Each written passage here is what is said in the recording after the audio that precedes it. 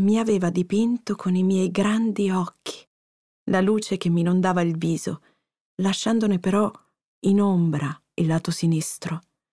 Ero vestita di azzurro, giallo e nocciola. La stoffa arrotolata intorno alla testa mi faceva apparire diversa, come la grit di un'altra città, addirittura di un altro paese.